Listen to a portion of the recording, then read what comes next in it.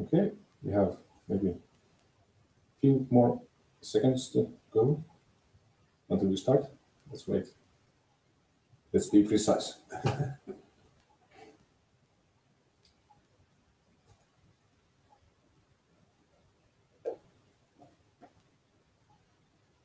Okay. Hello, everyone, and welcome. Uh, we are Finester, and uh, today's topic is uh, how you can complete your composites with our fire protection coatings. My name is Ari Hokkanen. I'm the founder and the CTO of the company. My background is in composites. I've been doing composites since my childhood, and I'm here with my colleague, Trevor. Uh, good afternoon, everybody. And today, the topic really is the fire protection coatings. A few words about Finester. We are SME backed by uh, investors located in Lahti, one hour from Helsinki, quite nicely located. Uh, and our focus is uh, fire protection coatings for composites. We manufacture, we supply, and we deliver coatings.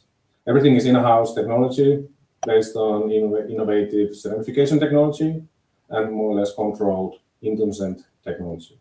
Ceramification is the technology where polymeric material will turn to ceramic material when exposed to fire, and intumescence is a property when the polymeric material starts to expand rapidly when exposed to fire. Also, we have fire retardant treatments for natural fibers. What do we see as a fire challenge in composite market? Well, everybody in the audience knows that the composites are great materials. They are used as a last resort when other materials fail. And the benefits of the composites are that they are lightweight, they are very strong, and strength to uh, weight ratio is unbeatable. They have very nice consistent quality. We can produce very nice small series with consistent quality, and you can have a nice appearance, different colors. You can have different uh, uh, gloss levels, textures. You can use them outdoors. They don't. Ne- they never corrode, low maintenance required, and they can be processed in different shapes with inexpensive tools. But let's face it, they are oil-based, and they burn. That's the Achilles heel of the composites. Of course, there are fire retardant or fire, fire-resistant composites in the market, but they are more or less done with adding some fillers into the resins, some additives to the resins, or even change the specialty resins. But they usually lead to compromises in the composite, and you will lose the properties why the composite was chosen in the first place. So suddenly they are heavy, not that strong. They are brittle, not consistent. You have limited colors available, gloss levels available. You really cannot use them outdoors because they absorb water, and they cannot handle UV. They are high viscosity resins, high viscosity products. It's difficult to process. But yes, you will get some fire protection at some point. But you lose that nice uh, properties of the composite where it was originally chosen from, and that's uh, chosen for, and it's like using the same tea bag for five times. You are technically still drinking tea, but it's not very good tea. These are technically, they are composites, but they are not very good composites. So our solution is fire protective coatings, and they go under the trade name of uh, Finester Red. So you keep your composite as it is. Don't change your composite. You just coat it or paint it with our fire protective red coatings. And there's no need to change your composite, just add that missing fire element by using our coatings. So how red works. Let's see a 15-second video.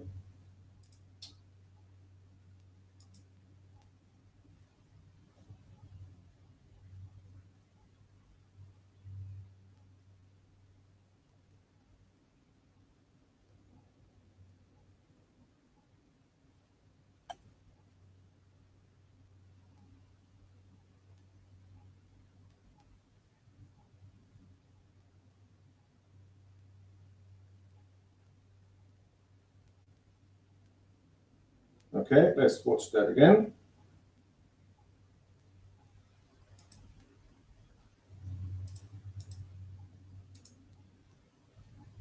So again, this is a this is a standard composite at room temperature. This is a epoxy glass fiber composite without any additives, but it, it has two-layer coating on top of it. So it has a base intumescent base layer, pure red layer, and then it has a top coat, hybrid top coat as a ceramifying layer on top. It's in blue color, and it has some water droplets for the creating the effect. And now what happens next is the Bunsen burner is introduced from the right side. It's a bit not too much visible, but it's still there. And the surface temperature starts to increase rapidly.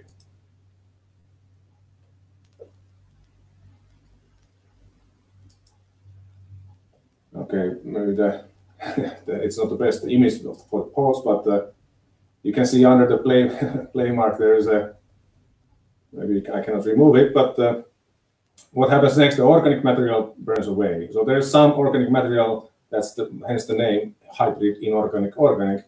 So the organic material burns away, and that's completely okay. At the same time, let's let's watch it further like this. About this stage, of about 700 degrees, all the organic materials are gone, and inorganic, inorganics are left, and the ceramification process starts to begin, or is already in process. At the same time, the heat will transfer to the other side of the ceramified coating to pure red layer, and that starts to expand. So that's our intumescent layer, bottom layer that starts to expand and creates this kind of ceramic bubble. Here we go again. Organic burns away, ceramic bubble is formed, and ceramification is complete. And this is now stable. You can burn it, you know, hours and hours in 1000 degrees, and that's stable. And that stable bubble, that stable ceramic bubble, will isolate the heat from the composite itself. So the heat will never go to the composite. And that's why you can have that standard composite in your process. Maybe watch it once more. It's a, a bit clumsy the user interface.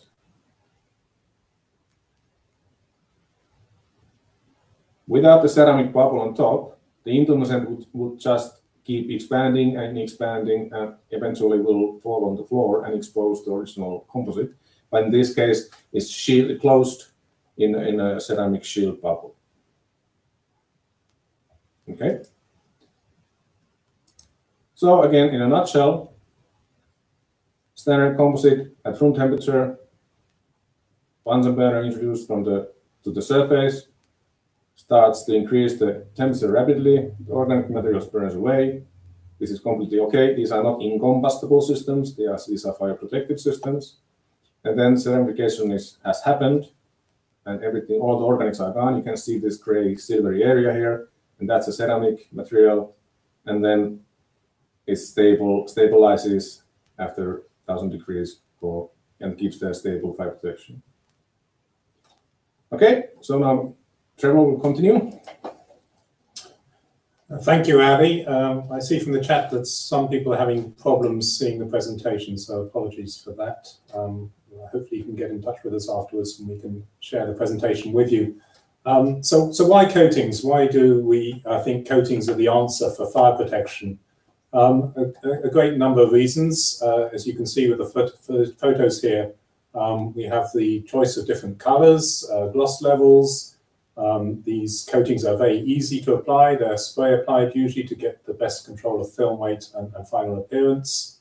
You can build up the coating under, under a number of layers, but also um, you can also fix any defects to your composite substrate. So the bottom left photo in the uh, slide uh, you're seeing at the moment shows some, some severe uh, wetting problems with the gel coat, and you can put coatings on that and uh, basically fix your problem. Um, so as we look at coatings, uh, we have a number of benefits to uh, our, technology. Um, as we mentioned before, yes, the poor composite surface is uh, a, big benefit, repairing what is not a perfect finish. Um, the flexibility of the production, um, uh, of course, with coatings, you can also um, take uh, an existing coating off and put another one on uh, in service. So maintenance and the extending the life of materials that are already out in the field, whether out on an oil platform, for example. And really, our technology is summarized by the all-in-one phrase. You're getting the colors, the surface effects, you're getting outdoor weathering, UV light resistance, and also wear and tear resistance, scratch, anti-graffiti, and giving us this confident and consistent fire protection uh, properties. Uh, as I mentioned earlier, uh, we prefer recommending a spray application, but you can also apply our, red technology with a brush or roller as well. Another benefit is that this technology will cure at room temperature. Um, so obviously if you have big pieces, if you're manufacturing composite bridges in one piece, for example, or large panels that don't fit into ovens, then this technology is ideal for that application because you can allow it just to leave it and allow it to cure at room temperature. We found that uh, it's also quite compatible with uh, some composite processes. Uh, at the moment, filament winding is quite an interesting topic for us. Um, we have a commercial business where the coating is has been incorporated into the existing filament winding uh, production process, uh, coating individual items, and also we're finding that we can work with both thermosets and thermoplastics. Um, so uh, it's not a case of just sticking to perhaps an epoxy glass fiber composite or polyester glass fiber. Uh, it's, it's very um, broad in its application, this technology. Um, unsurprisingly, uh, I think for most of you on this uh, webinar today would be the number of markets where you find composites is basically the number of markets where we think uh, our technology would um, lend a benefit. Um, so certainly in the uh, transport, uh, the, the, the, aerospace, the automotive, uh, traditional transport industries for composite applications, um, and also in the new, if we say new energy, so the battery casings and pressure vessels to, to power the vehicles of the future. Um, but also in the construction industry. So very much uh, with building products, with commercial, uh, with the red technology in certain construction applications, so building products, uh, railway vehicles, and also railway infrastructure, and for general in infrastructure applications. Uh, a little bit of a case study here. So uh, one of the good examples of uh, how our product really has uh, helped uh, enable a business is this marine case study. the company here is a company called Norsepower. Um, they've developed and commercialized a new form of powering uh, commercial uh, shipping. Um, this rotor sail technology and this white funnel-like uh, um, structure that you can see in the photograph is a rotor sail, and that's being coated with our Finester Red technology. Um, that obviously requires not just the fire resistance to meet the um, uh, the standards, which in this case are the IMO 2010 FTP code uh, standards, part 5 and part 2, but also it requires outdoor weather resistance durability. This is out on the uh, oceans, out in the shipping, so fairly severe outdoor requirements, and our coating is able to um, provide uh, the protection needed uh, for that application. Uh, another um, application I mentioned earlier was the construction applications. Um, when you're looking at uh, different levels of performance in the construction world, we're often referring to EN 13501-1 as a standard. And I'm pleased to say that uh, in combination with, uh, in this case, so it's polyester glass fiber composite materials, uh, we're able to achieve a um, class B uh, S1D0 for the full classification, which is pretty much the best you can expect from composite materials. Um, for those of you who are aware of this uh, EN 13501 standard, um, the A1 and A2 classes are really for non-combustible materials, which uh, composites will not be able to, to meet in their own right. So we're pretty much top of the uh, level in terms of performance uh, for fire uh, in the uh, construction standard. And I should point out here the total heat release that we achieved is a very good result, uh, less than 1.5, so well below the threshold required for that B classification. Also, we've done some work in the aerospace world. Um, so we've uh, managed to uh, develop a two-coat system, in this case for aircraft seats. And this two-coat system has passed uh, some quite stringent uh, 25853 standard tests, the flammability and the smoke tests, um, which are always uh, quite a challenge to meet. And with our two-coat system, we are able to, to meet that requirement. And as you can see from the picture, it's an aluminized uh, finish on this occasion. But as we said earlier, any color is, is possible. That's all it's black.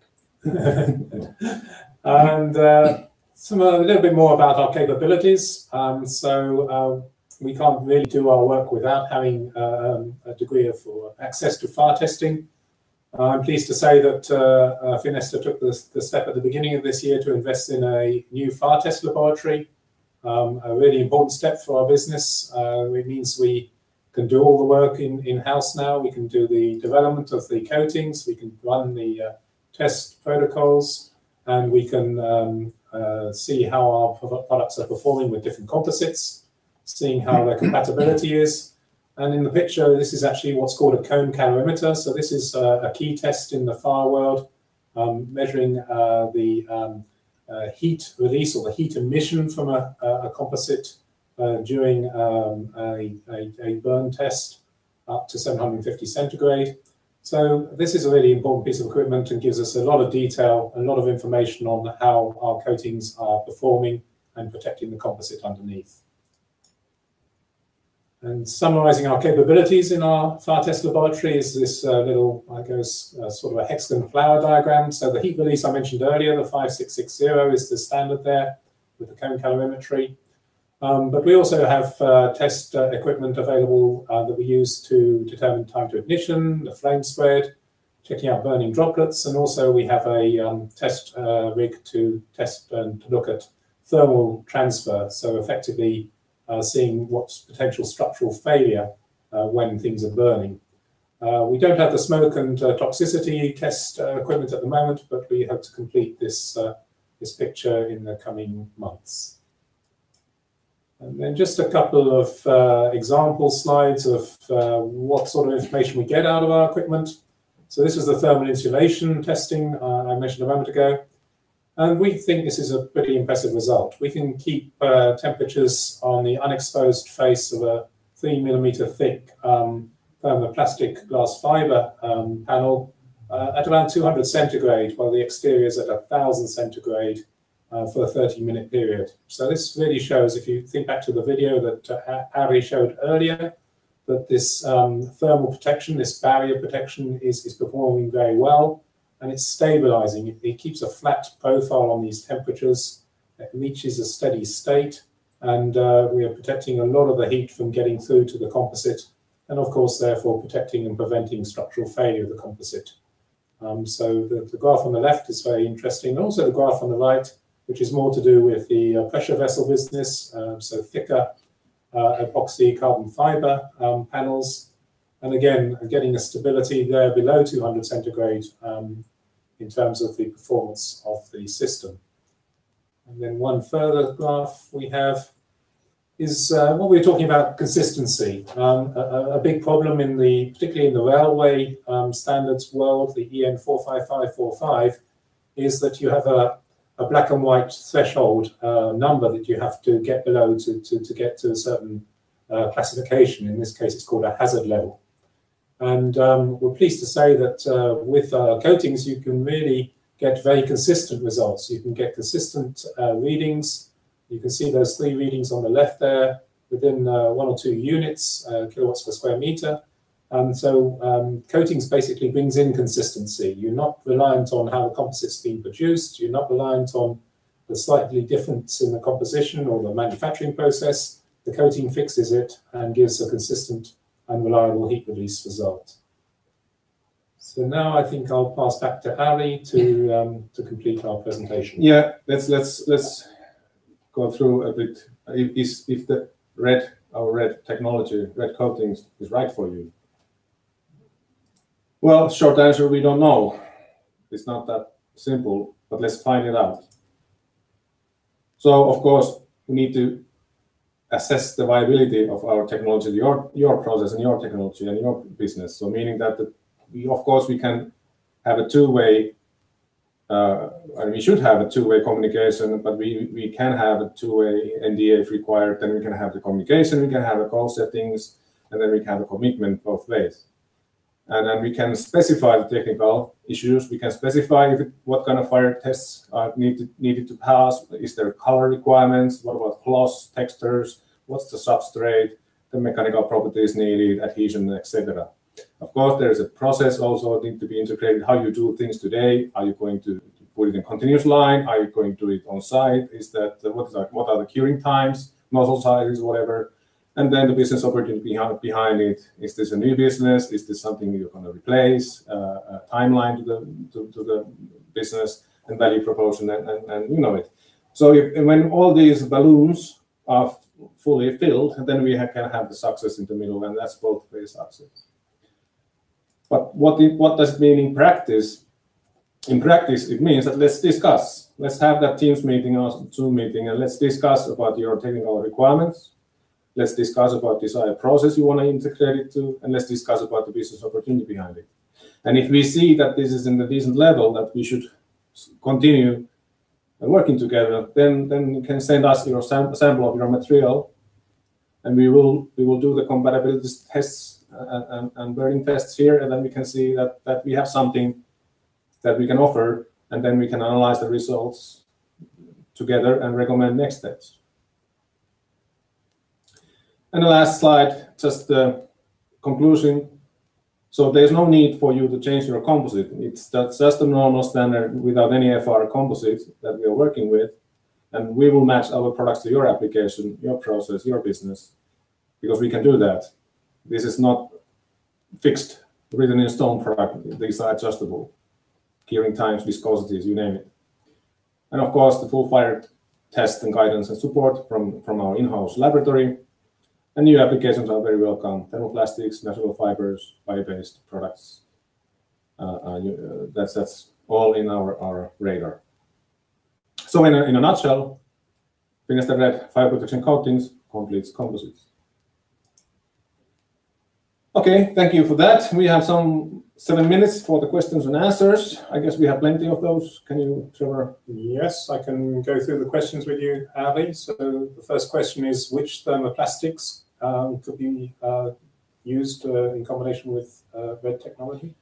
Uh, we have quite extensive testing done with polyamides uh, and then uh, PLA but we we don't recommend polyolefins, of course. So PP, PE is out, and, and that's that's without any surface treatment. But polyamide is, is working really nicely. And what else do we have?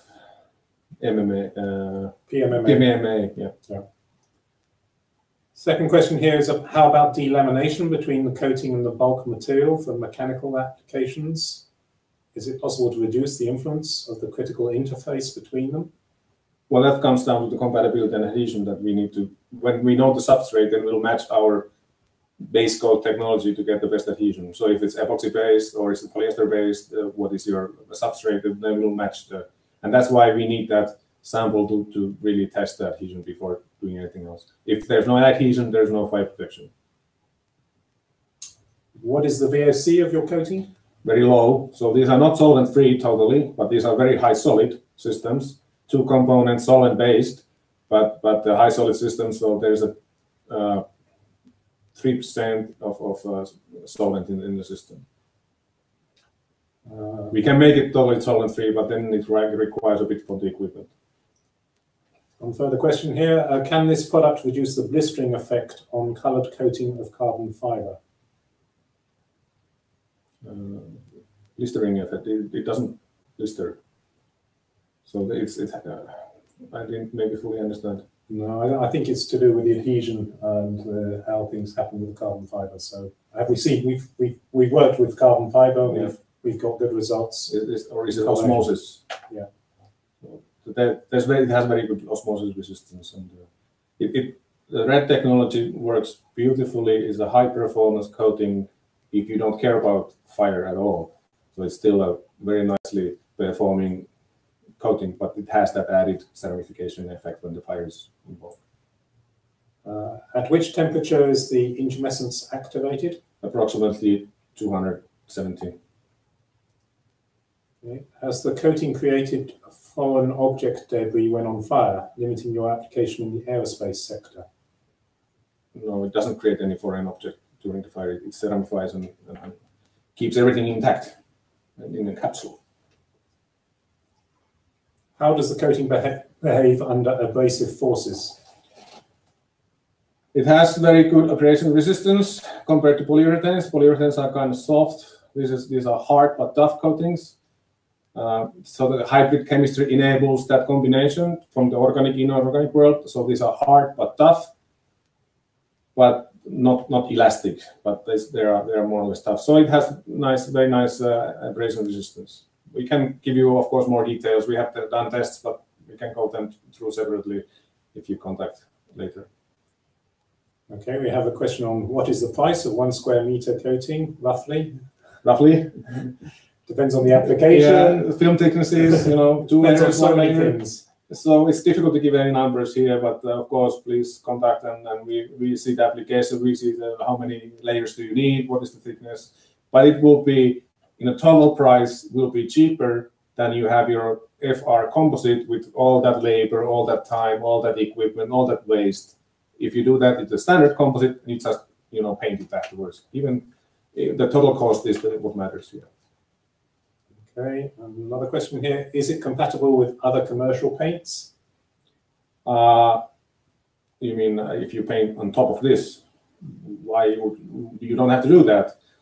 Uh, it's compatible with everything if if you sand the surface, expose uh, the, the material, then you can paint it if, if you want. You can paint it, yes, but you should sand carefully. These are very hydrophobic systems that might create some issues if, if it's not properly sanded. Okay, here's a nice one for you, uh, Ari. Uh, do you know how behaves the intumescent char under vibrations? Can the char layer paint detach away the composite substrate when fired under vibrations? That's a very good question, and this is why we have designed this two-layer system. So if you have only intumescent layer, the char is more or less fluffy and, and, and light. So when you have vibration, it will fall, fall on the floor. With this system, we have a two two separate layers. You have that ceramifying bubble that protects the the, the foam underneath. So it, it's fully uh, uh, reliable under stresses and vibrations also, and airflows. Okay, uh, any experience with AST, ASTM E84 tests? Uh, do you remember? Um, I don't think we've done E84 yet. We've, we've had some interests, but we've not done any specific. We've been we've been following European standards, so this is American standard, so not too much. How do you control the quality of products in production? We have ISO 9001, 14001, and of course every batch is uh, controlled in, the- in the right manner. Do you have solution for SF6 gas protection on composite FRP tube? Do we? I don't know. I think we, I think we could do with a, a bit more detail on understanding that one. This is not yes or no question. It's not one that we've actually uh, come across that one. No. Of course we have. Please contact us. Okay, that's all the questions that I just check if I missed any. Gas permeability is uh, Oh, yes, there was some questions on the um, weights. So typically, what areal weight is applied on a composite panel? So what film thickness? uh, uh, 400 plus 400 grams grams per square meter is the standard to, begin. If, you get very nice protections with 400 plus 400, 800 grams per square meter, which is approximately 600 microns. The film thickness, total film thickness. But sometimes just a single coat application will Yeah. do the job as well. So sometimes just a 250 micron, 200 micron of the Depending single on coat. the yeah, depending on the you know what kind of elements do you need if you need that. If you need only that uh, flame spread time to ignition, one one layer is enough. Burning droplets, one layer is enough. But then if you go to heat release and structural failure, you need two layers. Um, maybe a final question: How to repair in case of chipping of coatings? it's fully repairable. I mean, in any coating, there will be damage, there will be vandalism, there will be, you know, some hits with the hammer. So these are not indestructible coatings. Of course, you need to repair them in case of damage, and you can repair just the sand it, you know, mask it, and, and spray a new layer on it, and it will cure at room temperature. So it's repairable. That's it. I think we are running out of time. We still have half a minute, so we can wish everybody a very nice end of the week and. Uh, enjoy the rest of the uh, event. Yeah. yeah. Thanks. Thank you. Bye bye.